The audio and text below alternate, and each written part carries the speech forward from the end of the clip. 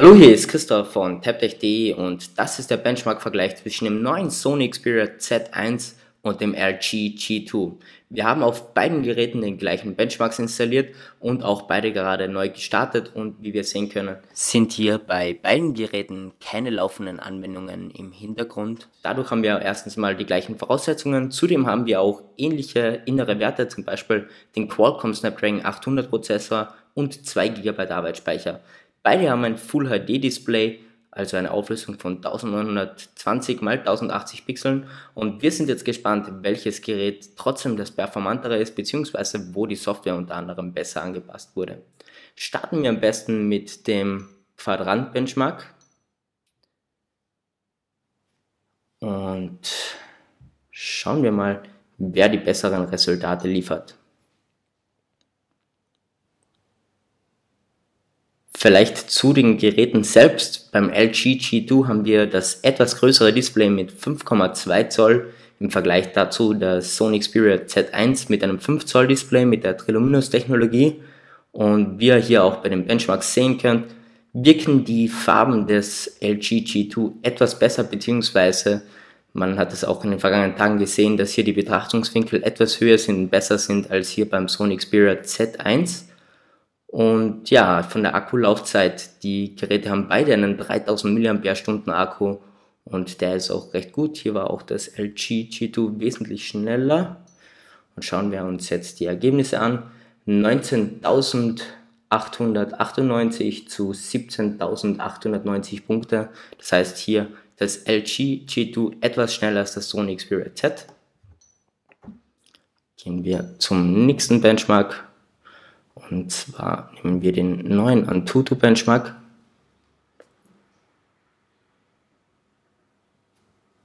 Und möchten wir den einfach mal testen. Hier kann man auch wieder auf die Grafik schauen.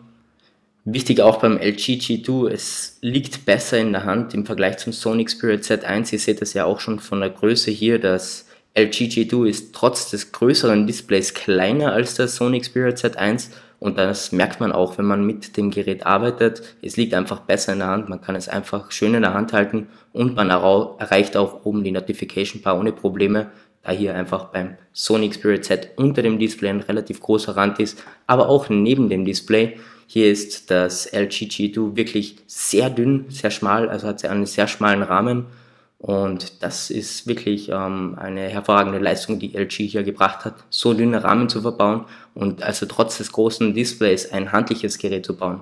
Nachteil ist allerdings die Verarbeitung, die ist beim LG G2 nicht ganz so gut, denn hier haben wir nur so eine Kunststoffrückseite, ähnlich wie wir das beim Samsung Galaxy S4 haben.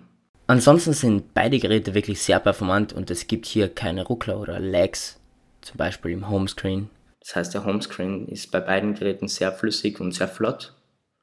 Vor allem im Vergleich zum Samsung Galaxy S4. Hier gibt es wirklich keine Lags oder diese, diese Mikro-Lags, wenn man irgendwo durchscrollt.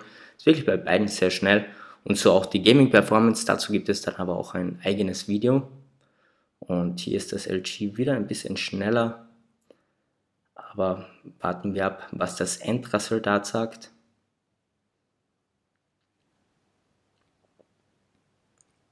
Eine Besonderheit vom Sony Xperia Z1 vielleicht noch, es ist IP55 und IP58 zertifiziert, das heißt es ist staubfest und auch wasserdicht bis zu einem Meter für 30 Minuten lang. Im Vergleich dazu hat dafür das LG G2 eine IR, also einen Infrarotport, damit könnt ihr euren Fernsehen und sonstiges steuern. Es gibt auch ein paar mehr Software-Features, die man nicht unbedingt braucht, aber trotzdem ganz nett sind. Vielleicht auch zu den Lautsprechern, die sind beim Sony Xperia Z1 im Vergleich zum Vorgänger, also zum Sony Xperia Z, besser geworden, aber auch nicht 100% so gut, wie man das von anderen Geräten kennt, also HTC One zum Beispiel, aber auch vom LG G2. Da sind sie beiden eigentlich relativ gleich auf. Und wir erreichen hier auch gleich das Ende. Und hier haben wir beim LG G2 34.326 Punkte verglichen zu 32.782 Punkten. Also hier ist das LG G2 wieder vorne. Gehen wir heraus und starten den GL Benchmark, also GFX. wie man auch kennt. Und schauen wir, was hier für eine Werte erreicht werden. Dem stimmen wir natürlich zu. Skip. Okay.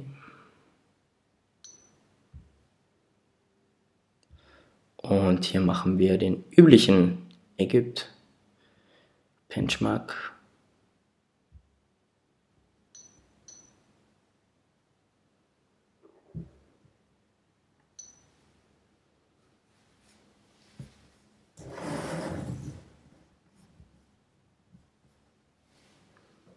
Wir sehen hier auch, dass LGG2 ist zwar etwas dicker, ähm, aber wie gesagt, durch die rundliche Bauform und das wesentlich kleinere Gehäuse liegt es einfach trotzdem besser in der Hand. Und hier dürfte man auch wieder gut sehen von den Farben her, das LG G2 ist einfach knackiger und äh, der Schwarzwert ist etwas höher und dadurch wirkt das Gesamt ein bisschen besser, also nicht ganz so blass wie beim Sony Spirit Z1, vor allem wenn man einen anderen Betrachtungswinkel hat, also einen höheren Winkel und nicht direkt auf das Display schaut.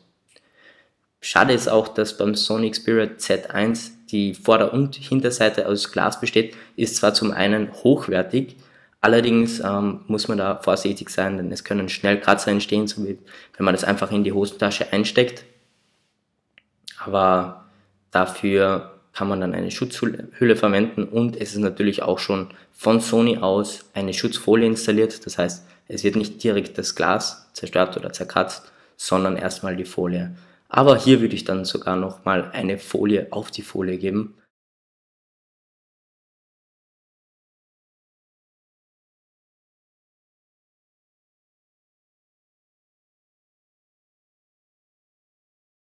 Und hier haben wir wieder bei beiden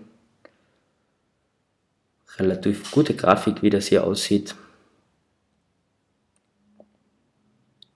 Leider sehen wir hier keine Frames per Second Anzahl, aber es sieht so aus, als wären wir hier beim G2 wieder etwas schneller im Vergleich zum Sony Xperia Z1.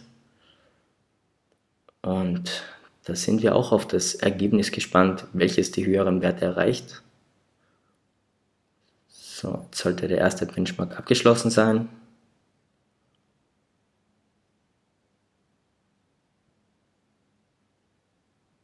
Und der nächste läuft. Von den Preisen her, das LG G2 liegt bei 499 Euro momentan mit 16 GB internen Speicher und das Sony Xperia Z1 bei 649 Euro. Allerdings der Vorteil, ich kann den internen Speicher von 16 GB erweitern beim Sony, was ich beim G2 leider nicht kann, was ja auch einer von den großen Nachteilen ist. Zur Kamera vielleicht auch ein bisschen. Hier haben wir in den letzten Tagen ein paar Testfotos geschossen und auch immer verglichen mit dem G2. Hier werden die Fotos teilweise vom G2 mit der 13 Megapixel Kamera, aber optischen Bildstabilisator besser als wie bei der Sony Kamera mit den 20,7 Megapixeln, die auch nicht immer aktiviert sind. Und wenn wir einfach die normalen automatischen Einstellungen verwenden, also diesen Superior Mode beim Sony oder den automatischen Modus beim LG, dann werden die Ergebnisse eigentlich vom LG besser, detailreicher.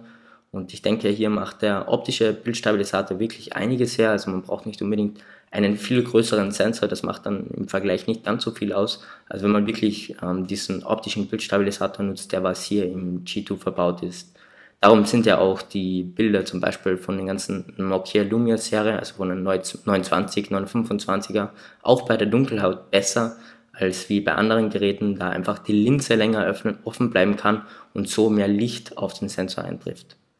Und das macht sich auch bemerkbar. Es ist auch verhältnismäßig weniger Bildrauschen in der Dunkelheit im Vergleich zum Sony Spirit Z1. Allerdings nicht immer, kommt auch darauf an, welche Einstellungen man da nutzt, ob man wirklich manuell die Einstellungen vornimmt oder das Ganze automatisch macht.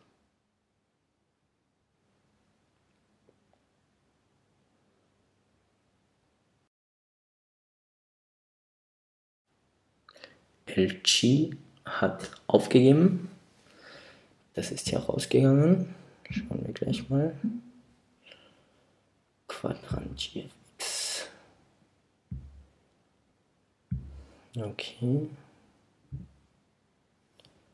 Back. Results. Schauen, was es hier für Ergebnisse gegeben hat.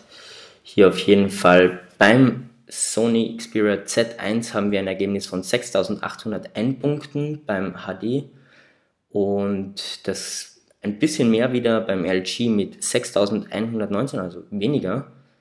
Und hier dann beim weiteren Benchmark haben wir 5945 Punkte zu 5434 Punkten. Also hier ist das Sony Xperia Z1 ein bisschen besser.